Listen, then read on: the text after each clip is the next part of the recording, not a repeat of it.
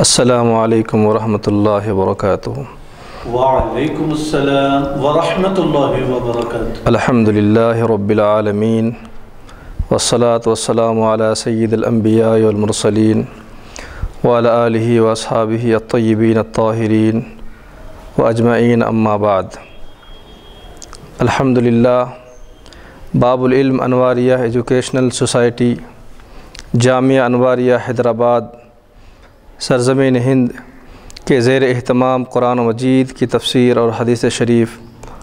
व फ़िक़ह व सियासत्ता को मिलाकर मुदल्ल व मुस्तंद मुबलग से सौ किताबों के वीडियो रिकॉर्डिंग का सिलसिला शुरू हो चुका है।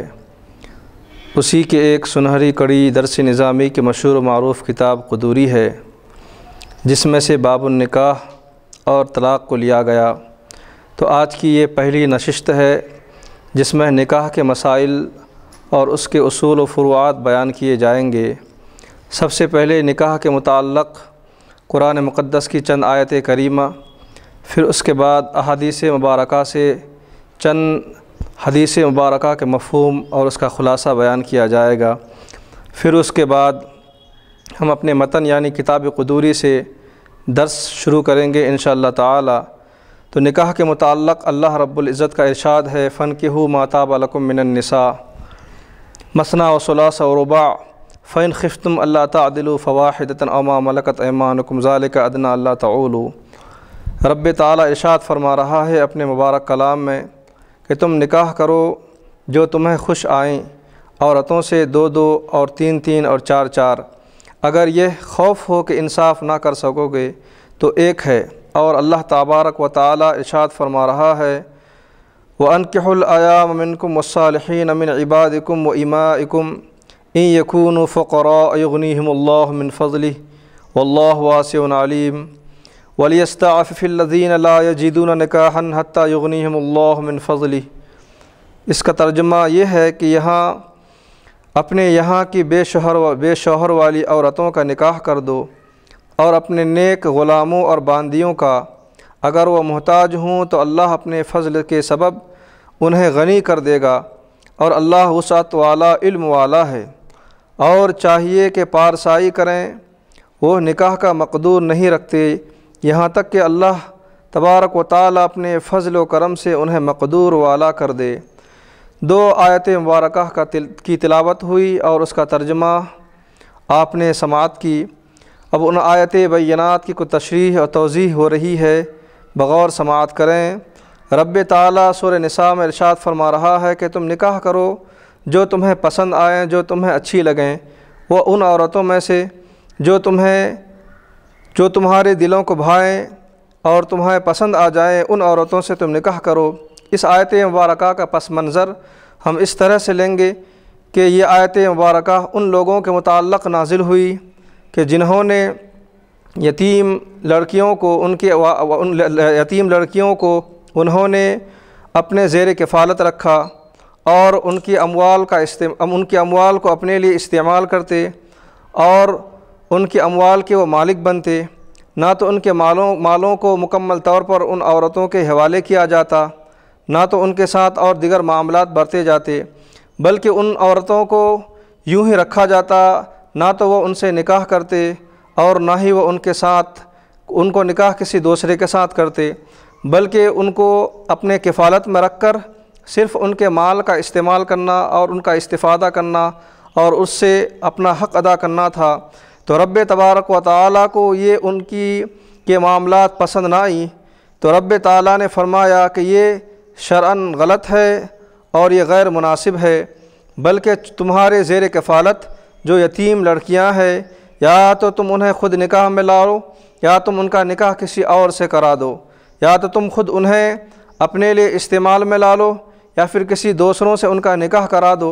अगर उनका निकाह वो दूसरों से करा देते हैं तो ज़ाहिर सी बात है कि वो औरत अपने मालो मता के साथ उसके दूसरे शोहर के पास, दूसरे के पास वो चले जाएँगी तो उनको ये खौफ था, उन कफ़ीलों को ये खौफ था कि अगर इनका निकाह हम करा दें तो ये अमवाल के साथ दूसरे के पास चली जाएँगी तो फिर मेरा क्या बनेगा? इसी तरह से एक रवायत यूँ बयान की गई कि एक कुरैश में दस दस निकाह किए हुए थे और उनके मातहत और उनके कफ़ालत में कुछ यतीम लड़कियाँ थीं। तो उसी तरह से उनके, उन यतीमों के अमवाल को वो लेते और लेने के बाद उन्हें वो अपने तौर पर इस्तेमाल करते और वो उन औरतों का कोई हकूक़ अदा ना होता। तो अल्लाह तबारक ताली ने फरमाया कि ये गलत है, बल्कि तुम्हारी ज़ेर कफ़ालत, जिन औरतों को तुमने अपनी कफ़ालत में ले रखा है, जब वो बड़ी हो जाएँ तो तुम उनके निकाह करो। इस तौर पर कि तुम या तो ख़ुद निकाह कर लो, या तो उनका निकाह दूसरे से करा दो। अब कुरान मुक़दस में रब ताला फरमा रहा है कि मसना, के दो दो, व सलासा, या तीन तीन, व रुबा, या चार चार। फ़ैन खिफ्तम अल्लाह तदिल फ़वाहिदतन। अगर तुम्हें डर है, खौफ है कि उनके दरमियान इंसाफ ना कर सकोगे, क्योंकि दो बीवियों के हकूक़ हैं, तीन बीवियों के हकूक़ हैं और ज़िम्मेदारियाँ बढ़ जाती है। तो इस तरह की ज़िम्मेदारियाँ अगर मुकम्मल ना कर सको तो तुम पर लाजिम है कि तुम एक पर ही इक्तफ़ा करो। उनके दरमियान अदल और मसावत कायम नहीं रख सकते। तो तुम पर लाजिम व ज़रूरी है कि तुम एक पर ही इक्तफ़ा करो। तो इस मकाम पर इरशाद फरमाया गया, मसना दो दो तीन तीन और चार चार। इससे मुराद ये है कि बैक वक्त निकाह में या तो दो को रखो, फिर उसके बाद या तो अगर वह दोनों निकाह से चले जाते हैं तो फिर दो निकाह कर लो। उसी तरह से इसका दूसरा मफहम यूँ है कि तीन तीन का मफहम भी इसी तरह से है कि अपने निकाह में तीन को रखो। अगर वह तीनों निकाह से बाहर चली जाती हैं, या तो मौत की शक्ल में, या फिर वो तलाक़ की शक्ल में अगर वो निकाह से खारिज हो जाती हैं तो फिर तीन को ला लो। उसी तरह से चार का मफहम भी इसी तरह से है कि चार चार यानी चार औरतों से निकाह करो। अगर वो चार औरतें तुम्हारी निकाह से खारिज हो जाएँ तो फिर उसके बाद तुम चार औरतों को से निकाह कर सकते हो। तो इस तरह से दो दो तीन तीन और चार चार का मफहम और उसकी तशरी बयान की गई है। यूँ नहीं बयान किया गया कि दो दो चार या तीन तीन से मुराद छः या चार चार से मुराद आठ हो सकते हैं। ये तशरी गलत है। तो दो दो से मुराद कि बैक वक्त दो रखो, अगर वो चले जाएँ तो दो रखो। उसी तरह से बैक वक्त तीन रखो, अगर वो चले जाएँ तो फिर तीन से निकाह कर लो। बैक वक्त चार रखो, उसी तरह से वो अगर वो चले जाएँ तो फिर चार रख लो। अल्लाह के नबी सल्लल्लाहु अलैहि वसल्लम के बारगाह मुक़दसा में गैलान नामी एक शख्स तशरीफ़ लाए और उन्होंने हजूर की बारगाह में इस्लाम कबूल किए। इस्लाम कबूल करने के बाद उन्होंने कहा कि, या रसूलुल्लाह सल्लल्लाहु अलैहि वसल्लम, मेरी दस बीवियाँ हैं तो मेरे नबी ने फरमाया, किसी मुसलमान के लिए जायज़ नहीं है कि चार से ज़्यादा बीवियाँ रखे। लिहाजा तुम पर लाजिम है कि तुम चार बीवियों को रखो और बाकी को आज़ाद कर दो, या उन्हें छोड़ दो तलाक़ की शक्ल में, या आज़ादी की शक्ल में। उन्हें छोड़ दो, उन्हें अपने से जुदा कर दो। सिर्फ़ और सिर्फ़ चार बीवियों को रखने का हकूक़ बतलाया गया, लेकिन इस शर्त पर कि वह चारों के हकूक़ अदा करें, चारों के साथ मसावत करें, चारों के साथ नान व नफ़ा दें, जो शरीयत ने लाजिम करार दिया गया, उन उन चीज़ों को तस्लीम करते हुए उनको हकूक़ अदा करें। उसके बाद रब ताली दूसरी आयत मुबारक में इरशाद फरमा रहा है, जो सूर नूर की आयत है वन केहलआयामिनकुमसालहीन अमिन इबादिकुम इमाकुम का ए सरपरस्तों इस मकाम पर सरपरस्तों से ख़िताब है इस मकाम पर जो ज़िम्मेदार हैं उनसे ख़िताब है जो किफ़ालत वाले हैं उनसे उनसे ख़िताब है कि वालदेन से ख़िताब है दादा दादी से ख़िताब है और उसी तरह से जो उनके वली बनते हैं उनसे ख़िताब है तो अलियाए लड़की से ख़िताब किया जा रहा है कि वन केहल आयाम मिनकुमसालहीन अमिन इबादिकुम व इमाकुम कि तुम बे शोहर वाली औरतों का निकाह करो, बेशोहर वाली औरतों का निकाह तुम करा दो। तो उसका मतलब ये है कि बेशोहर वाली से मुराद या है, या तो यूँ है, या तो सिरे से उनकी शादी ना हुई हो, या दूसरी बात यह है कि उनकी शादी हुई, या फिर उन्हें तलाक़ दिया गया तो बेवा हो गई। तो उनकी भी निकाह कराओ तो ये दो शक्लें हैं, या तो या तो उनकी निकाह ही ना हो, या तो फिर को निकाह है लेकिन छोड़ दिया गया, या फिर निकाह हुई लेकिन उसके शोहर का इंतकाल हो गया। तो इन तमाम सूरतों में अल्लाह तबारक ताली अलिया को हुक्म दे रहा है कि अलिया ख़वातीन, तुम बेशोहर वालियों, औरतों का तुम निकाह कराओ, जो तुम पर लाजिम है वसालहीन मिन इबादकुम, और उनका निकाह कराओ, जो तुम्हारे ग़ुलाम हैं और जो तुम्हारी बांदियाँ हैं। यूँ नहीं कि ग़ुलामों को सिर्फ़ अपनी खिदमतों के लिए इस्तेमाल करो। बांदियों से सिर्फ़ अपने खिदमत लो, ये नहीं चलेगा, बल्कि तुम अपने ग़ुलामों और बांदियों का निकाह करो, क्योंकि अल्लाह ताला आगे फरमा रहा है, इन यकून फ़करा युगनी हम फजल ही अगर वो ग़ुलाम, अपनी ग़ुलामी के सबब, कसब की सलाहियत नहीं रखते, जो अक्सर अवकात अपने मालिक की खिदमत में ही लगे हुए हैं तो अक्सर अवकात अपने मालिक की इतात में लगे हुए हैं तो उनको कमाने का जाने का मौका मैसर न होने की वजह से उनके पास अमवाल की कमी होगी रिस्क की कमी होगी तो फिर वो निकाह करने के बाद किस तरह से अपने बाल बच्चों की परवरिश करेंगे?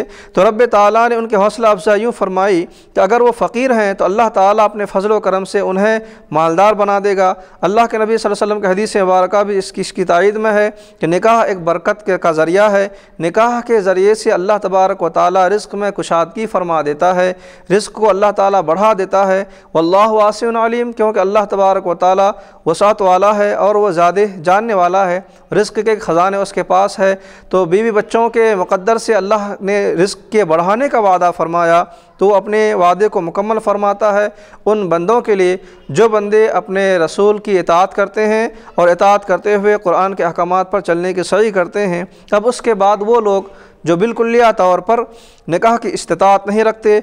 वलियस्ताफ़िल्लिन लाजीदून निकाहन हत्यागनीमिन फ़जली। अब रहे वो लोग जो मुकम्मल तौर पर निकाह की सलाहियत ही नहीं रखते। तो उनके लिए क्या करना है?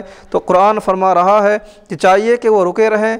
किससे? निकाह से रुके रहें। कि जिनके पास इस्तात नहीं है बिल्कुलिया तौर पर, क्योंकि निकाह के इब्तदाई मरहले से अमवाल की ज़रूरत पड़ती है।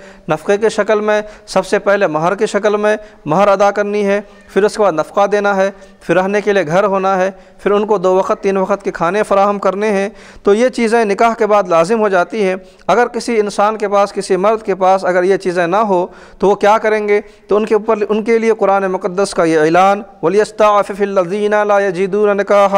कि वो लोग जो निकाह की गुंजाइश नहीं रखते हैं, जो लोग निकाह करने की सलाहियत नहीं रखते हैं तो उन लोगों के लिए है कि वो लोग अपने आप को रोके रखें, किस चीज़ से रोके रखें, निकाह से रोके रखें, क्योंकि अगर वो निकाह कर लेंगे तो फिर किस तरह से अमवाल ना होने की वजह से वो कैसे किफ़ालत करेंगे, किस तरह से वो ख़र्च चलाएँगे, नान व नफ़ा अदा करेंगे तो नान व नफ़ा ना होने की वजह से अल्लाह ने फरमाया कि वो निकाह से रुके रहें हती हत्यायुगनीमिन फ़जल ही यहाँ तक कि अल्लाह तबारक व ताली उन्हें अपने फ़जल करम से मालदार बना दे, यानी गनी कर दे, कुछ अमवाल अता फ़रमा दे, यूँ नहीं कि वो हाथ पर हाथ रख कर बैठे रहे, बल्कि वह कोशिश करे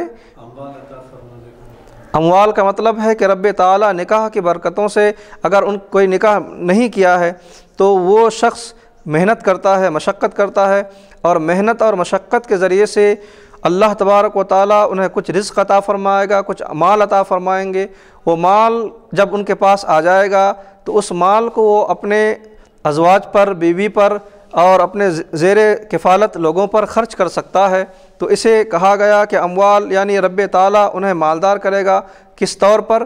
कि माल के शक्ल में कि उनके मेहनत और मजदूरी रंग लाएगी और उसके पास कुछ अमवाल जमा होंगे, माल और पैसे जमा होंगे। फिर उसके बाद वो उसी पैसों को सर्फ करेगा, ख़र्च करेगा और अपने आगे की ज़िंदगी को आगे बढ़ाएगा। तो जब तक वो रुके रहें, जब तक कि वो बेनियाज ना हो जाएँ और अल्लाह उन्हें गनी ना कर दे।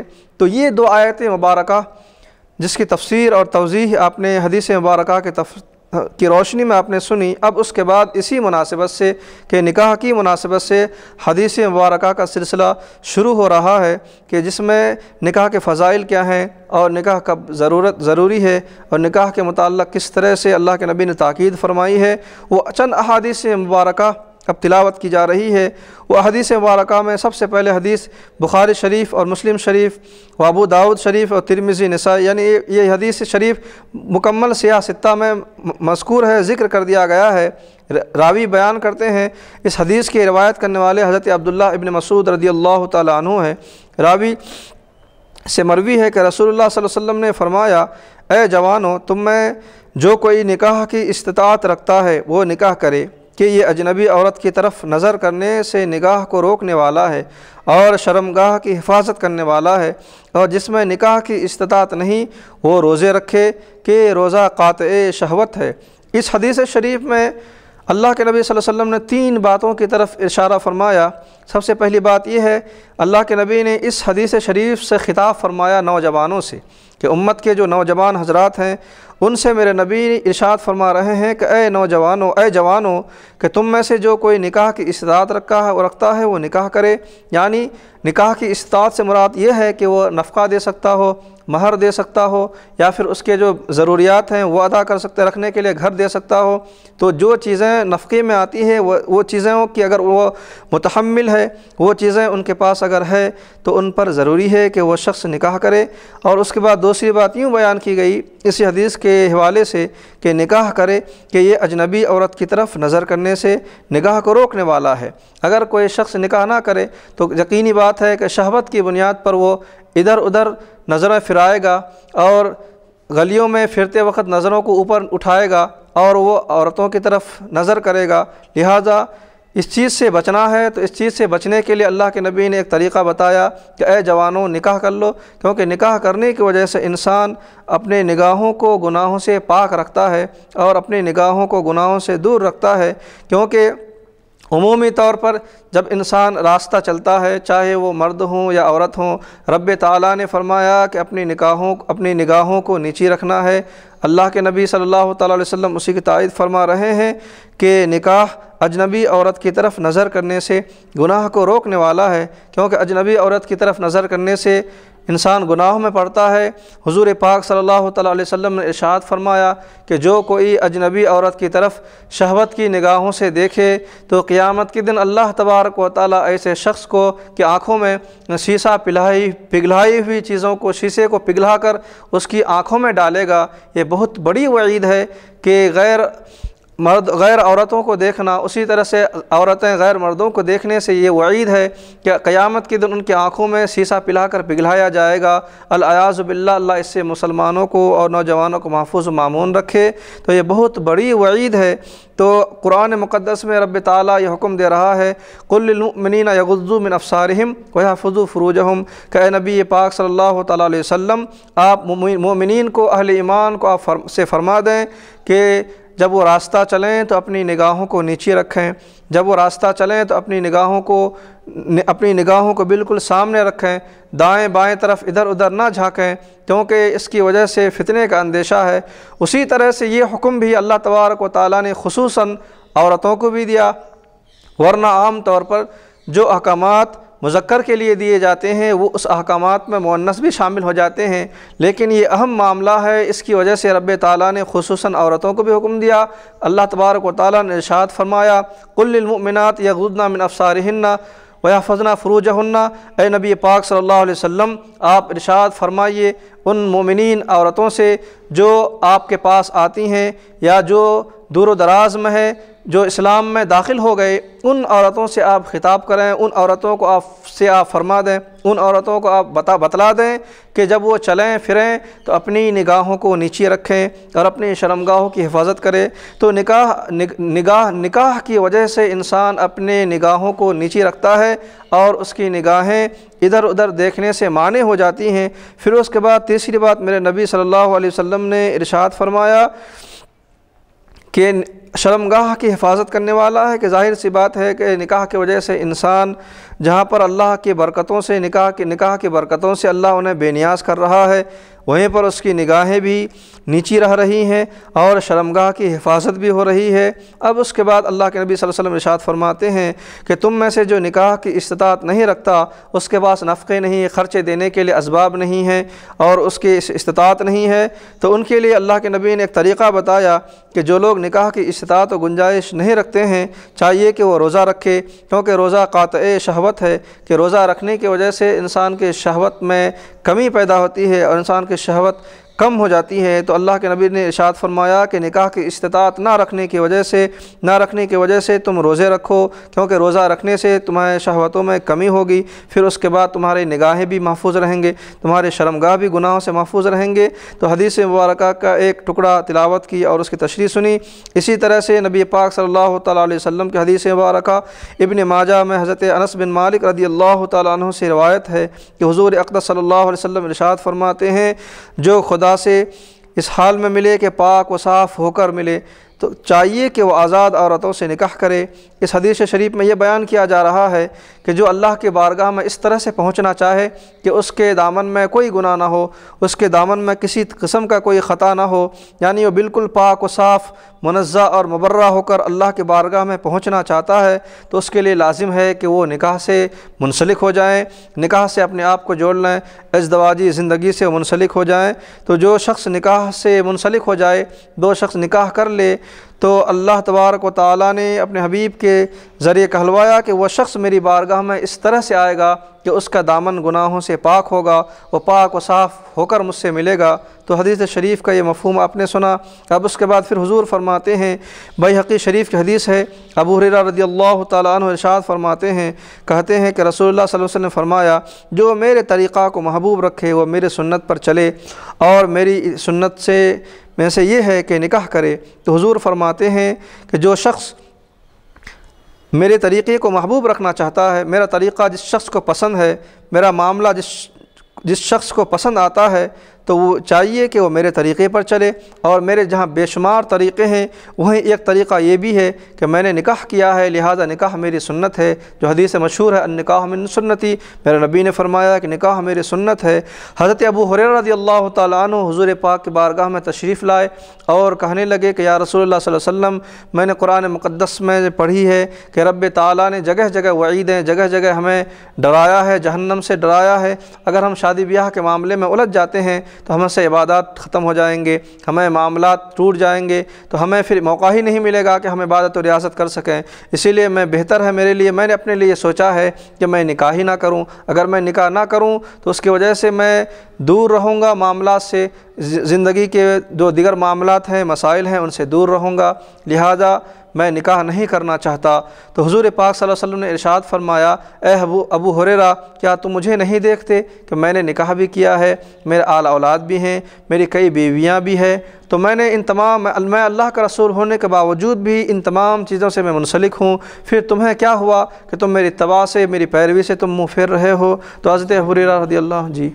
जुड़ा है। मुनसलिक का मतलब है कि निकाह अजदवाजी ताल्लुक़ से जुड़े हुए रहना, निकाह कर लेना, जिसे कहा जाता है कि मुनसलिक होना मुनसलिक होना यानी जुड़ना। तो हजूर पास इशाद फरमाते हैं कि मुझे देखो कि मैं निकाह, मैंने, मेरे कई अजवाज हैं मैं, मेरे आल औलाद हैं और मेरे, मैंने कारोबार भी किया, मैंने तजारत भी किया। लोगों से मिलना जुलना भी है उठना बैठना भी है, कलाम भी है गुफ्तु भी है। ये तमाम चीज़ों को मैं कर रहा हूँ और तुम्हें क्या हुआ है कि तुम इस दवाज ज़िंदगी यानी निकाह से मुँह मोड़ रहे हो?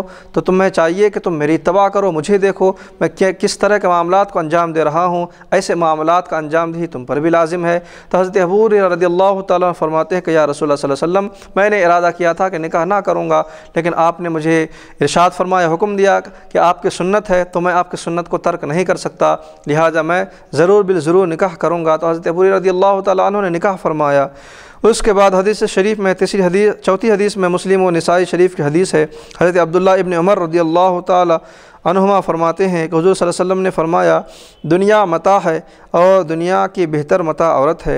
यानी ये सारी दुनिया एक साजो सामान की हैसियत है। सारी दु, सारी दुनिया के कि मामला सारी दुनिया के अशिया एक सामान है, एक कोई बेहतरीन है, कोई बहुत अच्छा है, कोई बहुत ही अच्छा है, जो सारी दुनिया एक सामानों से भरा हुआ है, लबरेज़ है। लेकिन उन तमाम सामानों में एक बेहतरीन चीज़, एक बेहतरीन शय और एक बेहतरीन सामान है, वो और वो बेहतर औरत है। तो अल्लाह के नबी ने फरमाया कि सारी दुनिया सामान है, लेकिन बेहतरीन उन सामानों में से औरत एक बेहतरीन सामान है। रसूलुल्लाह सल्लल्लाहु अलैहि वसल्लम पसंद फरमाते थे औरतों को, खुशबुओं को, नमाज़ों को। जो मशहूर हदीस है कि हजूर वसल्लम तीन चीज़ों को पसंद फरमाते थे। एक पहली चीज़ तो यह है कि नमाज़ों को पसंद फरमाते थे। दूसरी चीज़ यह है कि खुशबू पसंद फरमाते थे। तीसरी शय यह है कि औरत को पसंद फरमाते थे। औरत चाहे बीवी के शक्ल में है, उसे पसंद फरमाते थे। बेटी की शक्ल में है, उसे पसंद फरमाते थे। माँ के शक्ल में है, उसे पसंद पसंद फरमाते थे, रिश्तेदार के शक्ल में उसे पसंद फरमाते थे तो बहसीत औरत नबी सल्लल्लाहु अलैहि वसल्लम पसंद फरमाते थे, क्योंकि अमूमन अरब का कायदा था कि औरतों से नफ़रत करते थे वो लोग, यही वजह है कि वो अपनी बच्चियों को दफन करते थे, लड़कियाँ होती ही मुँह छुपा कर फिरते थे, कुरान मुक़दस में अल्लाह तबारक वाली फरमाता है कि अगर किसी को कहा जाता है कि तुम्हारे घर में लड़की पैदा हुई तो वो लोग बजन हो जाते और अपने चेहरे को छुपाते, यानी माशरे में आर यानी शर्मिंदगी महसूस करते कि मुझे लोग क्या कहेंगे कि एक बेटी का बाप बन गया है, इसका दामाद होगा, वगैरह वगैरह, ऐसे तस्वुरात और ऐसे तोहमत और वहम परस्ती में लोग मशगूल थे। तो ऐसी हालात में नबी पाक वसल्लम का ये इरशाद कि मैं औरतों को पसंद करता हूँ बहसीत बीवी हो बहसीत बेटी हो बहसीत माँ हो बहसीत रिश्तेदार हो तो मैं पसंद करता हूँ। तो हुजूर पाक वसल्लम का ये इरशाद उन अरब के अकवा अरब के अवाम अरब के अवाम के तवक़ात के बरखिलाफ़ था ख़िलाफ़ में था कि वो लोग नापसंद करते थे मेरे नबी ने फरमाया मैं पसंद करता हूँ। तो अल्लाह के नबी फरमाते हैं कि दुनिया सा, साजो सामान है और साजो सामान में इस दुनिया में औरत एक बेहतरीन साजो सामान है। फिर हजूर पाक वसल्लम इरशाद फरमाते हैं इबन माजा शरीफ की हदीस है हज़रत अबू उमामा रदी अल्लाह तरवी है कि रसूल फरमाते हैं कि तकवा के बाद मोमिन के लिए नेक बीबी से बेहतर कोई चीज़ नहीं। अगर उसे हुक्म करता है तो वह तात करती है अगर वो उसे देखे तो खुश कर दे। अगर वो कहीं चला जाए तो अपने नफ्स अपने शोहर के माल की भलाई करे। तो हुजूर पाक वसल्लम ने चंद चीज़ें बताई और चंद चीज़ों में से आ उसके माल की भलाई करे। हाँ। भलाई का मतलब कैसी भलाई करना चाहिए? जी। क्या वो भलाई से मुराद हिफाजत भी है माल की? जी। तब यहाँ पर जो है तीन चीज़ों में ये जो बयान किया जा रहा है कि दुनिया के में बेहतरीन साजो सामान है और और मोमिन के लिए सबसे बेहतर चीज़ क्या है? तो मोमिन के लिए सबसे बेहतरीन चीज़ बतलाया जा रहा है कि बेहतरीन चीज़ मोमिन के लिए नेक बीवी है। नेक बीवी से बेहतर मोमिन के लिए और कोई चीज़ नहीं। अब उसके बाद उसकी बेहतरी किस तरह से ज़ाहिर हो, नेक बीवी की भलाई किस तरह से ज़ाहिर हो, अब उसे कहा जा रहा है कि अगर उसे हुक्म करता है तो इतात करती है। यानी शोहर अगर जो, शोहर अगर अपनी बीवी को किसी चीज़ के मुताल्लक कहता है तो वो उसकी इतात करती है, उस पर लब्बैक कहती है और उसके मुताल्लक वो मुकम्मल तौर पर, फौरी तौर पर उस पर उस पर लब्बैक कहते हुए फ़ौर शोहर की इतात और फरमा बरदारी करती है। उसके बाद कहा गया कि अगर शौहर उसे देखे तो उसे खुश कर दे। यानी औरत अगर बनाव श्रृंगार करे ज़ेब व ज़ीनत करे तो दिल में ये नीयत हो कि उसका ज़ेब व ज़ीनत करना या बनाओ सिंगार करना सब के सब किसके लिए हो? सिर्फ़ और सिर्फ़ अपने शोहर के लिए हो ना कि हाँ जैसे जिसे आज के ज़माने में मेकअप कहा जाता है कि औरत का मेकअप करना सिर्फ़ और सिर्फ़ अपने शोहर के लिए जायज़ है और गैर शोहर के लिए, अगर कोई गैर को दिखाने के लिए या गैर को नुमाइश कराने के लिए, अपने आप को खूबसूरती को दूसरों के सामने ज़ाहिर करने के लिए, अगर किसी ने इस तरह से मेकअप की, इस नीयत से मेकअप की तो अल्लाह तबारक ताली उसकी इस बातिल नीयत की वजह से रब ताली उनको सज़ा देने वाला है और सख्त से सख्त सज़ाएँ देने वाला है, क्योंकि रब ताली ने उस पर लानत की है। रब ताली ने फरमाया कि जब तुम चलो, तुम्हारे पायलों में घुंघुर भी ना हो कि उसकी आवाज़ हो कि वला यजरबना बेअरजुलहिन्ना लियुलमाफ़िन मिन ज़ीनतहिन्ना, जब तुम चलो तो तुम्हारे पैरों में घुंघरी भी ना हो, क्योंकि अल्लाह के नबी फरमाते हैं कि जिस कौम के औरतों में घुंघरू हो तो अल्लाह तबारक व ताली उस कौम की दुआओं को कबूल नहीं फरमाता तो उस कौम की दुआओं को रद्द फरमा देता है।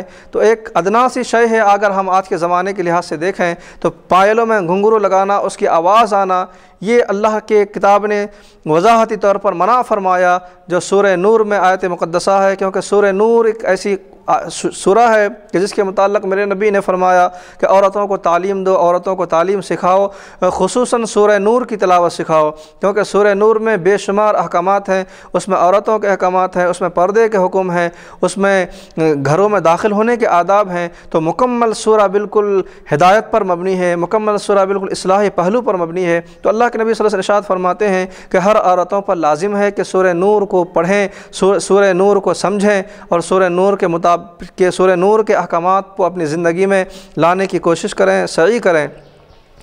तो हदीस शरीफ में ये कहा जा रहा है कि अगर वो शौहर उससे देखे तो वो उसको देखना खुश कर दे। यानी औरत अब मेकअप करे तो अब ज़ेब ज़ीनत करे, आरइश करे तो सिर्फ़ और सिर्फ़ इस इरादे से करे कि मुझे मेरा शौहर देखे तो खुश हो जाए, मुझे मेरा शौहर देखे तो उनके दिल को अच्छा लगे। तो ये इसकी तइद है और ये बहुत अच्छी बात है कि और ये इसके मतलब हदीस मुबारक में बेशुमार तशरीहत है तोज़ीहत है कि बहरहाल औरत के तमाम मामला सिर्फ़ और सिर्फ़ उनके सिर्फ़ और सिर्फ़ उनके शोहर के लिए होनी चाहिए गैर के लिए ना हो। अगर गैर के लिए लिए हो तो लानत है अगर शोहर के लिए हो तो वो लानत के बजाय रहमत है।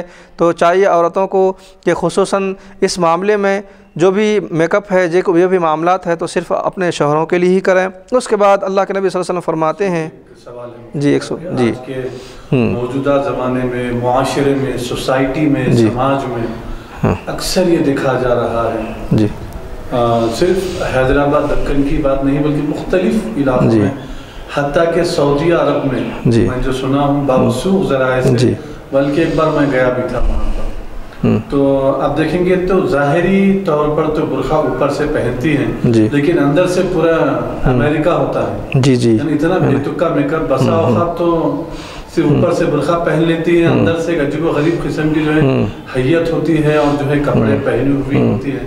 खैर अल्लाह हम सब की इसलाह फरमा दूसरी बात यह है कि अक्सर बाज औरतें काहली सुस्ती सुस्ती करती हैं इस मामले में कि वो अपने शोहरों के लिए बनावट श्रृंगार करने के बजाय मेकअप करने के बजाय बेहतरीन कपड़े इस्त्री वगैरह करके पहनने के बजाय जब कोई दावत का अहतमाम होता है या कोई घर में जो है दावत आती है। जी। तो जब दावत में जाना होता है या कहीं ऑफ़िस वगैरह किसी काम से खा बाहर ही क्यों निकलना ना पड़े? मतलब बाहर अगर जाने की ज़रूरत हो तो बाहर जाने के लिए हमारी औरतें माशरे की समाज की जो हमारी मुस्लिम सोसाइटी की जो औरतें हैं वो मेकअप करके निकलती हैं। अफसोस इस बात का है कि वो शोहर के लिए मेकअप नहीं करती। अपने शौहर के लिए वो तैयार नहीं होती।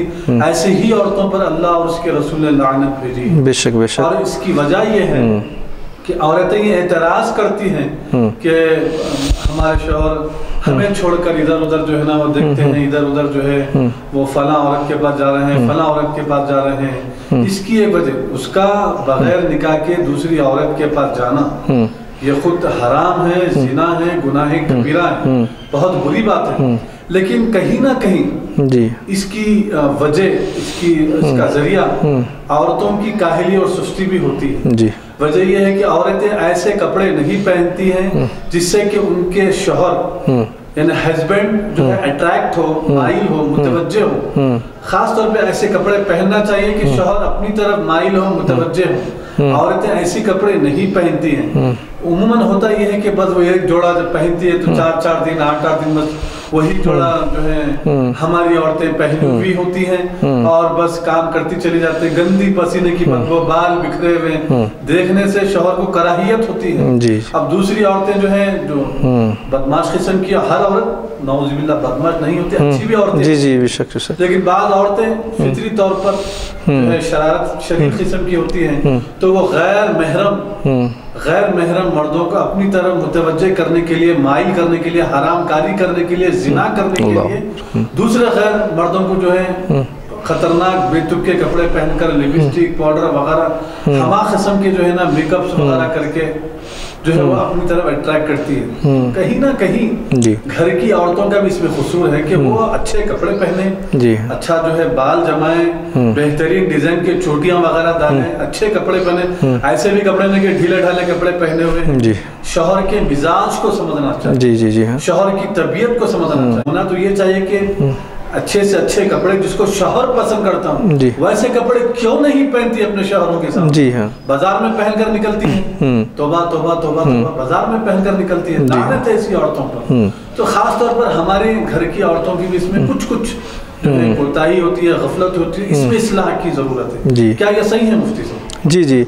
अल्हम्दुलिल्लाह काफ़ी असलाह माशरा पर तवील और मुफसल और हालात के पेश नज़र जिस तरफ़ हालात का बहाव है, जिस तरफ़ लोगों का आवाम का रुख है और मुसलमान औरतों का रुख है, उस पर बहुत नाला हैं और बहुत ही अफसोस का इजहार करते हुए इन्होंने ये मुझसे सवाल किए कि आम तौर पर अमूमन कि जो चीज़ जिसके लिए करनी चाहिए वो चीज़ उसके लिए नहीं हो रही है, जो चीज़ जिसके लिए नहीं करनी चाहिए उसके लिए हो रही है। तो सबसे पहले ख़वातीन इस्लाम को ये चीज़ जानना चाहिए कि सबसे पहले ख़वातीन इस्लाम जो तालीम हासिल करती हैं, वो तालीम किस तरह से उनके लिए मौजू है और कौन सी तालीम उसके लिए बेहतर है। तो मुफ़क्रिन कहते हैं, चाहे वो फ़लसफ़ी की, फ़लसफ़ियाना मुफ़क्रिन हो, चाहे वो मजहबी मुफसर मुफ़क्रिन हो, सबसे पहले उनका ख़्याल है, उनका तसव्वुर है कि औरतों पर लाजिम है कि सबसे पहले वो अपने की तरफ़ तवज्जो दें। अपने आप की तरफ़ तवज्जो देने का मतलब है कि अपने खाने पीने के अवकात को मेयारी बनाएँ और मुनासिब वक्त में खाएँ पिएँ टाइमली खाएँ, पिएँ, फिर उसके बाद लिबास का मामला है कि लिबास ऐसी हो जो महज़ब हो। नबी पाक सल्लल्लाहु अलैहि वसल्लम ने इरशाद फरमाया कि ऐसे लिबास जिससे से जिस्म की साख्त नज़र आए, जिसमें इसके आज़ा ज़ाहिर होते हों, अगर जिसम के आज़ा झलकते हों तो ऐसा, ऐसे लिबास पहनने वालों, अली औरतों पर अल्लाह के, अल्लाह तबारक व ताली नाराज़ होता है, अल्लाह के फ़रिश्ते भी नाराज़ होते हैं। तो इस तरह से तहज़ीब के ख़िलाफ़ लिबास को अपनाना शरियन शरअन गैर दुरुस्त नाजायज़ है, बल्कि हराम है। तो इस तरह के लिबास से परहेज़ करना औरतों के लिए ज़रूरी है। वो उन पर लाजिम है कि अपनी तालीम में सबसे पहले उन्हों अपने आप पर तवज्जो दें। अपने आप पर तवज्जो देने का मतलब ये है कि अपने आप को जहनी तौर पर, जिस्मानी तौर पर सही रखें, सलामत रखें। क्योंकि वो जहनी और जिस्मानी तौर पर वो सलामत रहेंगे तो फिर उसके बाद उनके शौहर उनसे, उनकी तरफ़ मुतवजह होंगे और शौहर का दिल उनकी तरफ़ खिंचता चला जाएगा।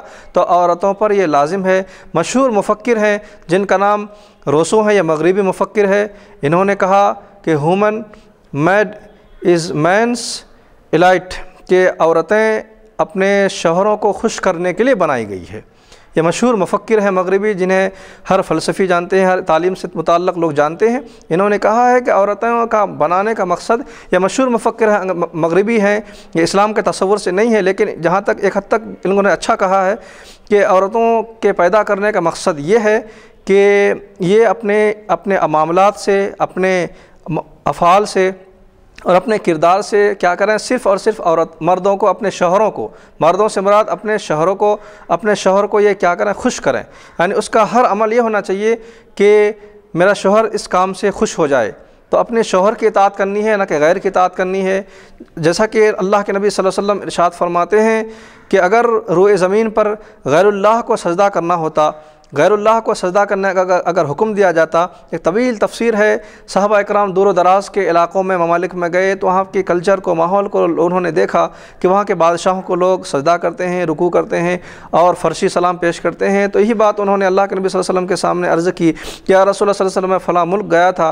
मैं वहाँ देखा कि लोग इस तरह से अपने बादशाहों को सजदा करते हैं, अपने हाकिम को इस तरह से लोग रुकू करते हैं और फ़र्शी सलाम करते हैं। तो क्या ये जायज़ है?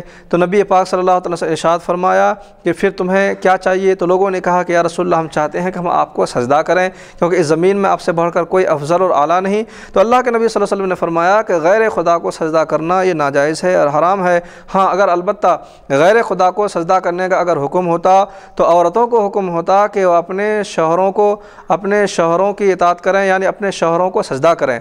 अगर रुए ज़मीन पर अल्लाह के सिवा किसी दूसरे को सजदा करना जायज़ होता तो ये औरतों पर लाजिम होता कि वो अपने अपने शोहर को सजदा करें।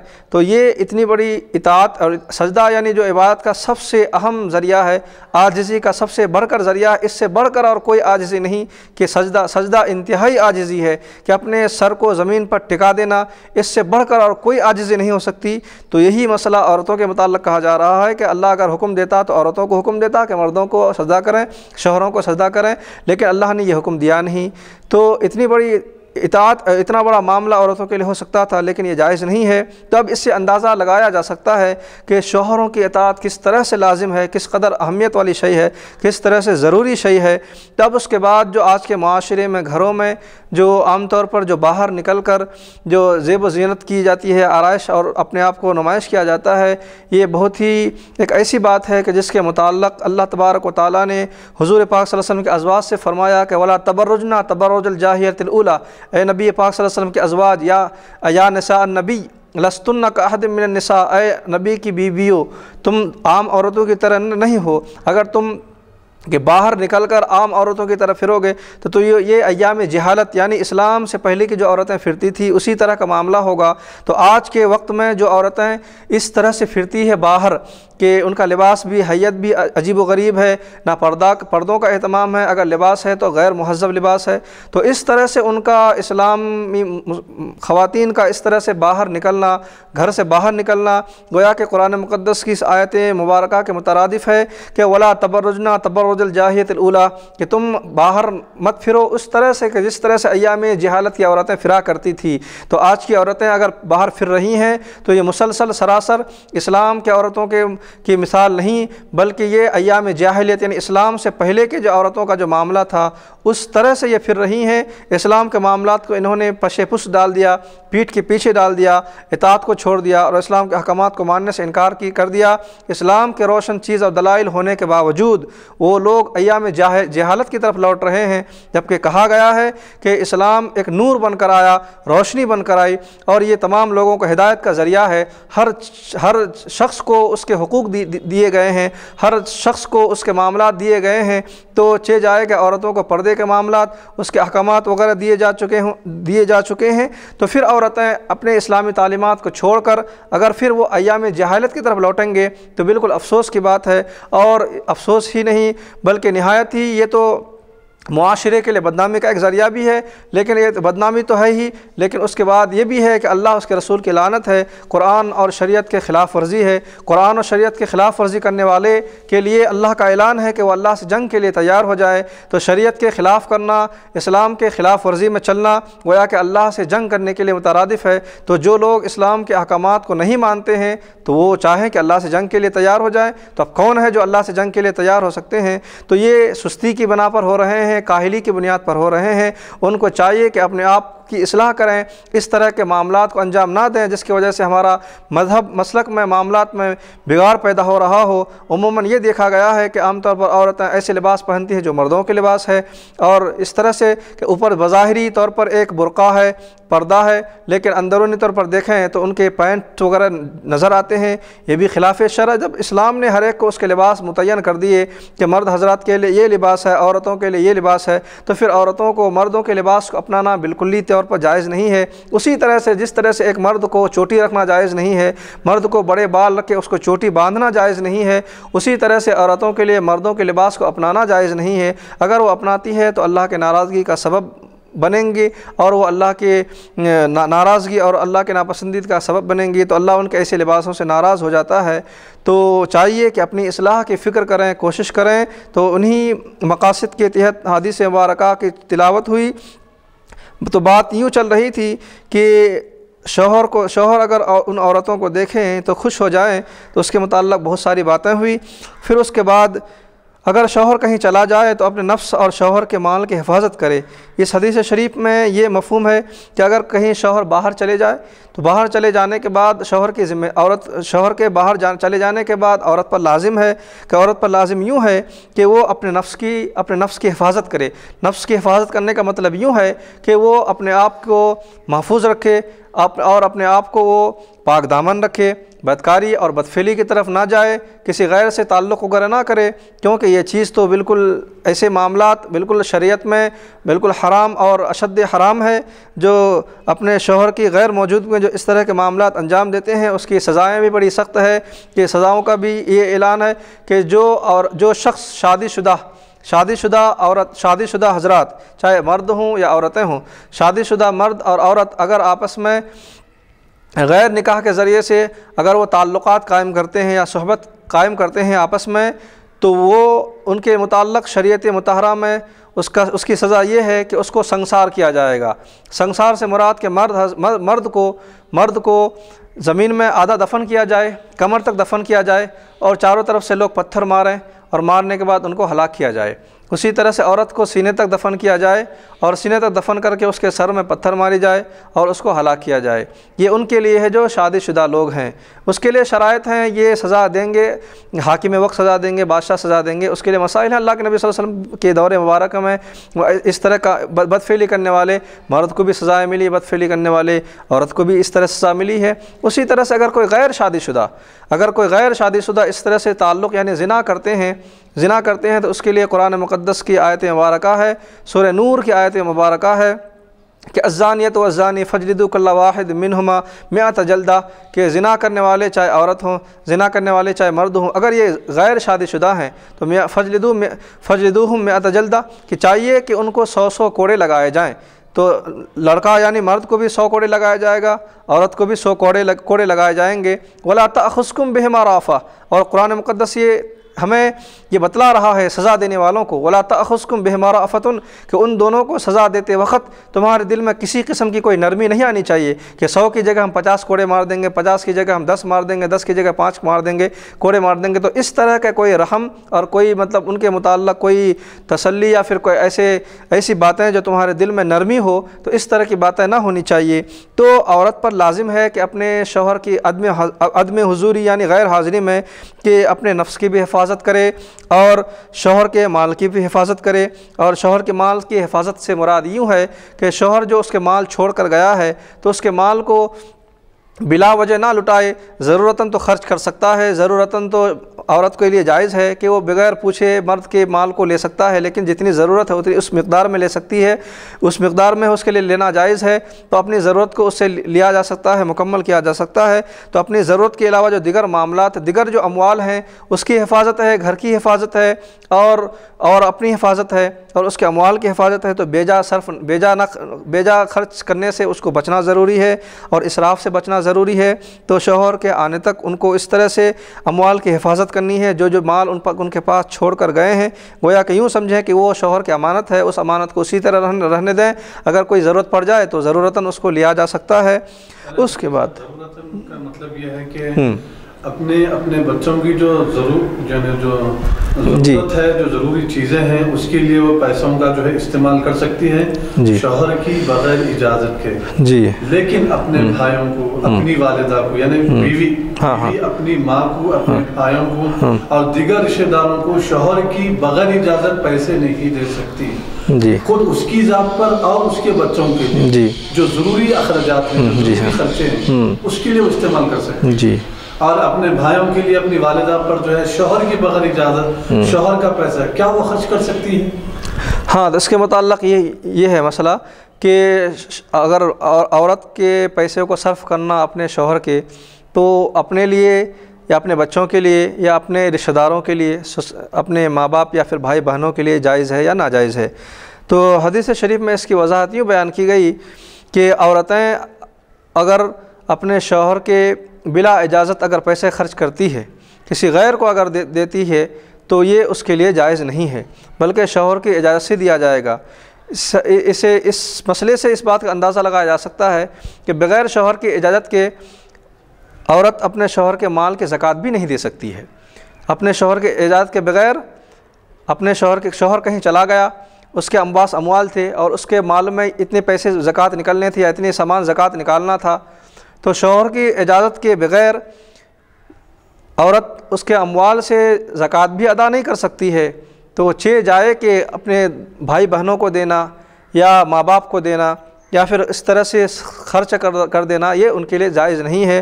अलबत् अपने लिए कुछ खर्च करना अपने बच्चों के लिए खर्च करना कुछ सौदे लाना कुछ सा, सा, साग सब्जियों के लिए खर्च करना ये जो ज़रूरियात है जो उनके रहने पर भी खर्च होता था जो अगर शोहर रहता इस मकाम पर तो भी खर्च होता था। तो इस तरह का खर्च करना उनके लिए ज़रूरी है और वो कर सकती है। शरीयत इसके लिए बिल्कुल इजाज़त देती है।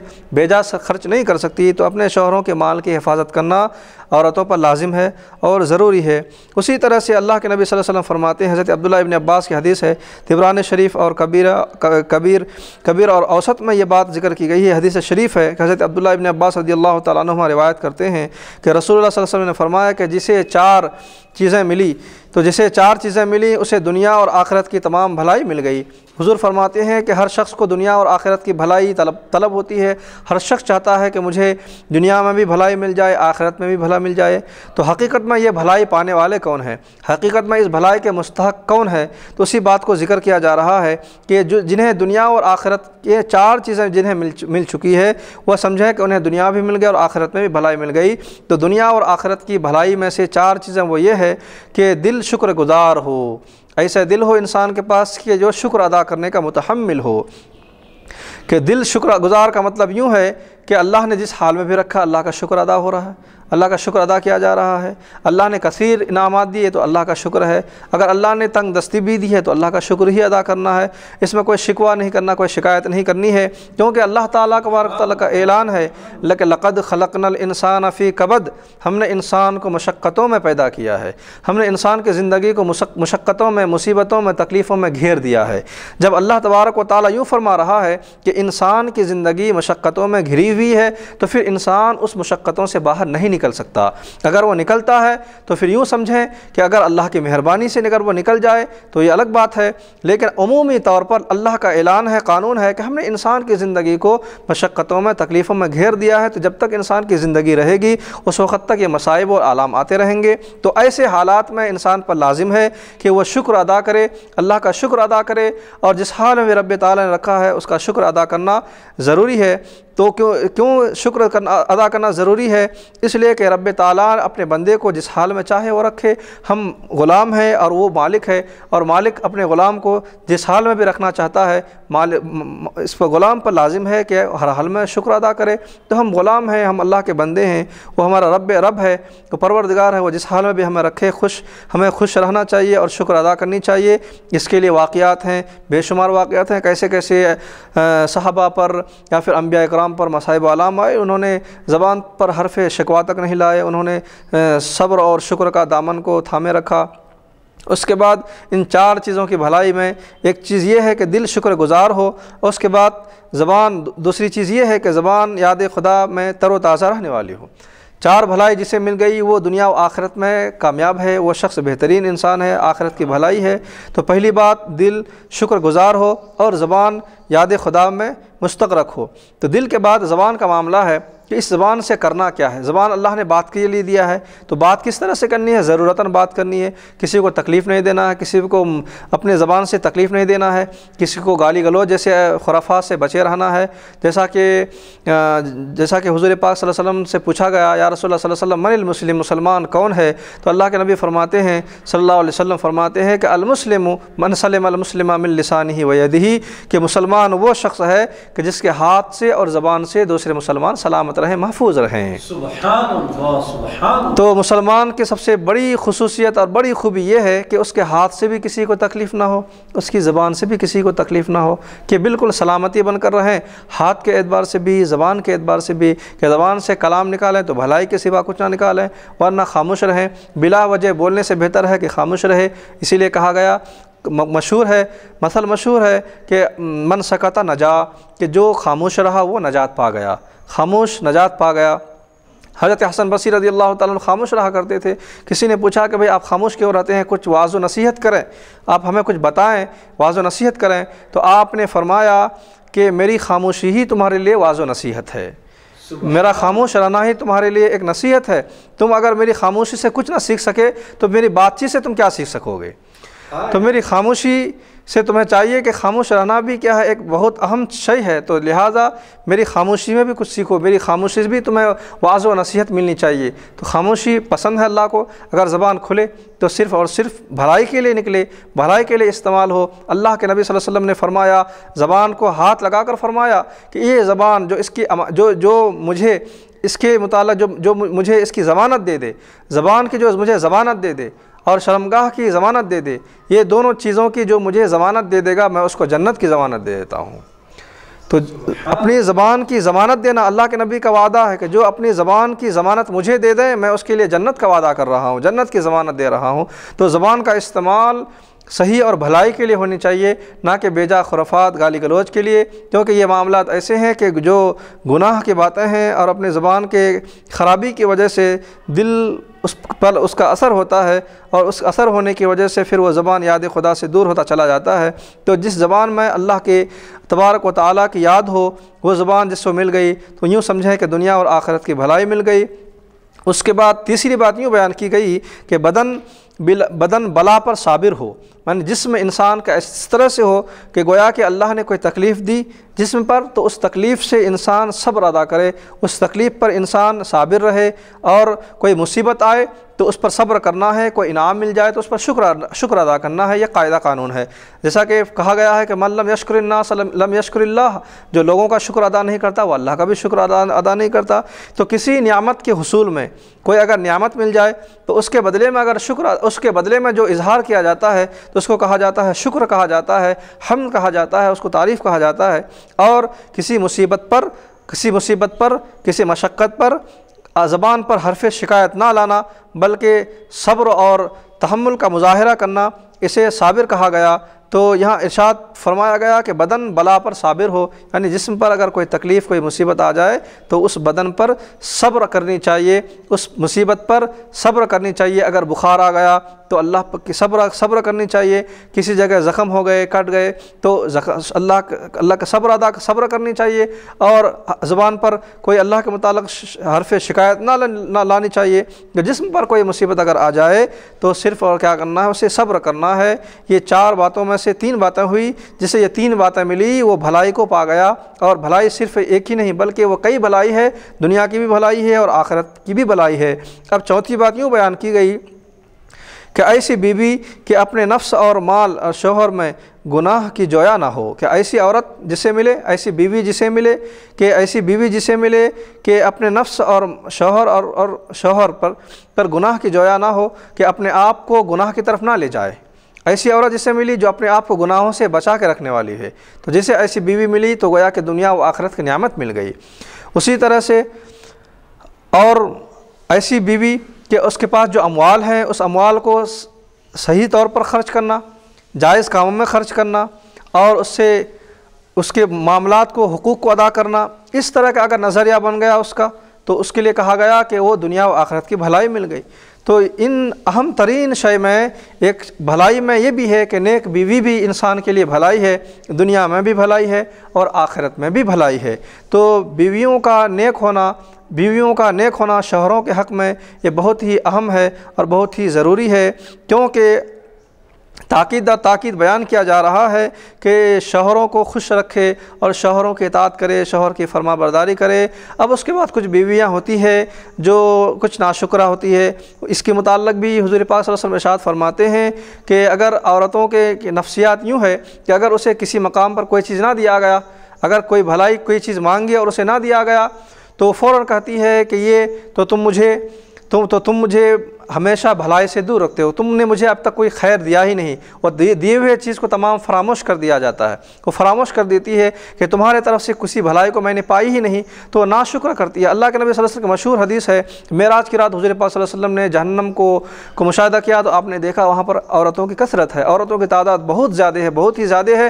तो अल्लाह के नबी अलैहि वसल्लम हज़रत जब्राईल से पूछते हैं कि जब्राईल जन्नत में औरतों की तादाद इस कदर क्यों है? हज़रत जब्राईल फरमाते हैं कि, या रसोल्ला वसल्लम ये औरतें जन्नत में ज़्यादा तादाद में इसलिए हैं कि आम तौर पर जन्नत में जाने जहन्नम में जाने का जो सबब है औरतों को और औरतों को जहन्नम में ले जाने का एक ज़रिया है वो ज़रिया ये है कि औरतें आम तौर पर शहरों की नाफरमानियाँ करती है और नाफरमानी की वजह से उसे जहन्नम में दाखिल किया गया है। तो इस हदीस शरीफ से अब वाज है बिल्कुल इशारा है कि आम तौर पर औरतें अपने शोहर के मुकम्मल तौर पर हकूक़ अदा करें। अब कुछ औरतें ऐसी होती हैं जो अपने शोहर के हकूक़ अदा ना करें। और इतात ना करें तो उसके लिए कुछ तंबी है, उसके लिए कुछ तलकिन है, उसके लिए कुछ मामलात है इन किसी दरस में उसका बयान होगा। तो अगर औरतें अगर कुछ नाफरमान बन जाए तो शरीयत ने उसकी असलाह के लिए कुछ तदाबीर किए हैं, शरीयत ने उसको राह रास्त पर लाने के लिए कुछ वजूहत, कुछ मामला बतलाए हैं, कुछ असूल बतलाए हैं, उन असूलों के तहत चलने से यकीन अगर शर्य असूलों को अपनाया जाए कुरान के बताए हुए असूल को अपनाया जाए तो ही वो सही रास्ते पर आ सकती है। अगर अपने तौर पर अगर कोई असूल बना लेता है अपने मनमानी से अगर कोई असूल बना लेता है या गैर गलत गैर ज़रूरी मारपीट के ज़रिए से तो इस तरह के असूल अगर कोई अपना लेता है तो वो घर जुड़ने के बजाय वो इतफ़ाक़ के बजाय फिर वो इंतशार में तब, तब्दील हो जाता है। इतफ़ाक़ के बजाय इंतशार पैदा हो जाएगा फिर उसके बाद उनके दिलों में आपस में आहिस्ता आहिस्ता मोहब्बत में कमी वाक़ होती चली जाएगी और नफ़रत बढ़ता चला जाएगा। तो इस इस ज़िम्न में भी किसी सिलसिले में इन बयान किया जाएगा। अब उसके बाद हदीस नंबर सात में इमाम अहमद व बज़ार व हाकिम में साद बिन अभी वक़ास रदी अल्लाह से मरवी है कि रसूलुल्लाह सल्लल्लाहु अलैहि वसल्लम इरशाद फरमाते हैं कि फ़रमाया, तीन चीज़ें आदमी को नेक बख्ती से हैं और तीन चीज़ें बदबख्ती हैं। नेक बख्ती की चीज़ों में से है कि नेक औरत हो और अच्छा मकान हो और अच्छे, अच्छी सवारी हो। तीन अच्छी चीज़ें हैं। अल्लाह के नबी वसल्लम फरमा रहे हैं कि तीन चीज़ें अच्छी हैं और तीन चीज़ें बुरी है। अच्छी चीज़ें क्या है? नेक औरत है। नेक औरत अच्छी चीज़ है शोहर के लिए सबके लिए, भलाई है उसके लिए। को नेक औरत एक बहुत ही अच्छी चीज़ है। उसके बाद अच्छा मकान। एक मकान भी अगर अच्छा है, मकान अच्छा वसी हो, उसके पड़ोसी अच्छे हों अच्छा मकान से मुराद क्या, पड़ोसी अतराफ़ वाले भी अगर अच्छे हैं तो वो अच्छा मकान कहलाता है कि वो जगह अच्छी है, यानी उसके अतराफ़ में रहने वाले लोग अच्छे हैं। तो इससे मुराद अच्छा मकान से मुराद, या तो मकान ख़ुद वसी हो, या फिर उसके अतराफ़ के रहने वाले पड़ोसी भी क्या हो, अच्छे लोग हों। गाली गलोच करने वाले ना हों, लड़ने झगड़ने वाले ना हो इतफ़ाक़ और इतिहाद को अपनाने वाले हों तो अल्लाह के नबी फरमाते हैं कि नेक औरत अच्छी चीज़ है अच्छा मकान ही बेहतरीन चीज़ है और अच्छी सवारी। सवारी भी इंसान की अच्छी होनी चाहिए, उससे इंसान की तहज़ीब में और उसकी लियाकत में और उसके मामला को ज़ाहिर होता है। तो अच्छी सवारी, इन तीन चीज़ों को अल्लाह के नबी वसल्लम फरमाया कि ये अच्छी चीज़ें हैं और बदबख्ती की चीज़ें बयान किया जा रहा है कि तीन चीज़ें इंसान के हक़ में बुरी है, वो क्या है? बद औरत है। यानी बुरे, यानी बद औरत से मुराद बद अखलाक औरत, जिसके अखलाक अच्छे ना हो। औरत के अखलाक अच्छे ना होने का मतलब यूँ है कि एक बात मुझे जहन में याद आई। हज़रत इब्राहिम सलाम जो है तशरीफ़ लाए काबतुल्ला शरीफ के पास अपने बेटे से मिलने, यानी हज़रत इस्माईल से मिलने के लिए तशरीफ़ लाए तो आप जब घर में दस्तक दिए तो दस्तक देने के बाद आपकी बीवी दरवाज़ा खोलती है तो खोल कर उन्होंने दरवाज़ा खोलने के बाद उन्होंने कहा कि आप कहाँ से आए हैं? तो उन्होंने कहा कि मैं फ़लाँ मकाम से आया हूँ, मैं इब्राहिम, मैं इस्माइल का के वालिद मोहतरम हूँ, वो कहाँ हैं? तो उन्होंने कहा कि वो किसी मकाम पर गए हैं, किसी काम से गए हुए हैं। तो हज़रत इब्राहिम सलाम ने कहा कि कि जब वो आ जाएँ तो उनसे कहना कि तुम अपने दरवाज़े को तब्दील कर दो, अपने दरवाज़े बदल दो। तो जो ही हज़रत इसमाइल सलाम आए तो कहने लगे कि आपके वालिद आए थे, और उन्होंने जाते हुए ये कहा कि अपने दरवाज़ा, अपने अपने घर के दरवाज़े को तब्दील कर दो, दरवाज़ा अच्छा नहीं है। तो हज़रत इस्माईल सलाम अपने चेहरे पर हाथ फेरते हैं और कहते हैं कि तुमने मेरे वालिद के साथ कैसा बदअखलाक़ी का मामला पेश किया? मेरे वालिद ने मुझे हुक्म दिया है कि तुम्हें मैं तलाक़ दे दूँ, तुम्हें मैं मुझसे मुझसे मैं तुम्हें जुदा कर दूँ, अलग कर दूँ, क्योंकि तुमने मेरे वालिद मोहतरम के साथ अखलाक का मामला नहीं किया, अखलाक का बर्ताव नहीं किया। तुम्हें चाहिए था कि उनको बुलाना था। दरवाजे पे उन्होंने दूर दराज के सफ़र से आए थे। पहले के ज़माने का सफ़र कैसे हैं? घोड़ों पर ऊँटनियों पर सवार करके आए थे। मुल्क शाम से काबतुल्ला शरीफ आए और दरवाजे से वापस कर दिया गया। तो उनको दरवाजे से अंदर बुलाना चाहिए था। एक गिलास पानी या दूध जो भी है उन्हें पिलाना चाहिए था खिलाना चाहिए था कुछ भी जो भी मैसर होता लेकिन तुमने मेरे वालिद के साथ ऐसा कुछ नहीं किया। अखलाक का बिल्कुल मुजाहरा नहीं किया। लिहाजा मेरे वालद ने मुझे कहा है कि मैं अपने घर का दरवाज़ा तब्दील कर दूँ। उससे मुराद ये है कि मैं तुम्हें अपनी ज़िंदगी से जुदा करूँ यानी तुम्हें तलाक दे दूँ क्योंकि तुम्हारे अखलाक अच्छे नहीं हैं। फिर उसके बाद बद अखलाक़ी की वजह से हज़रत इब्राहिम ने अपने बेटे को हुक्म दिया इसमाम को कि तुम उसको तब्दील कर दो। फिर उसके बाद हज़रत इसमाम ने दूसरा निकाह फरमाया। फिर उसके बाद उसी तरह से वो तशरीफ़ तशरीफ़ लाए। लाने के बाद हाँ तलाक दे दिया उनको जुदा किए। फिर दूसरा निकाह हुआ।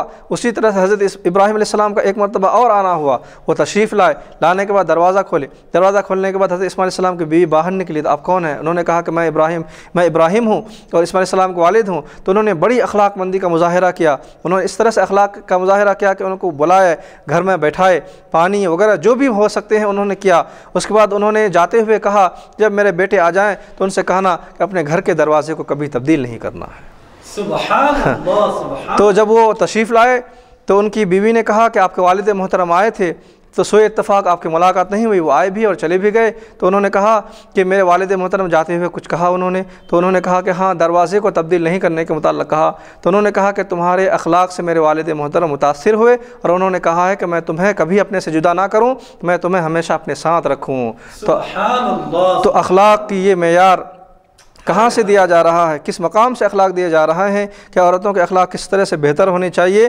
तो बद औरत ये बदतरीन बदतरीन लोगों में से है और ये बुरी चीज़ों में से है और बुरा मकान, बुरी सवारी तो ये भी बुरी चीज़ों, बुरे चीज़ों में से है। तो हजूर पाक वसल्लम इरशाद फरमा रहे हैं, इस हदीस मुबारक का जो जो मफहम है कि नेक औरत अच्छा मकान, अच्छे पड़ोसी, इसकी तशरीहत हैं तोज़ीहत हैं।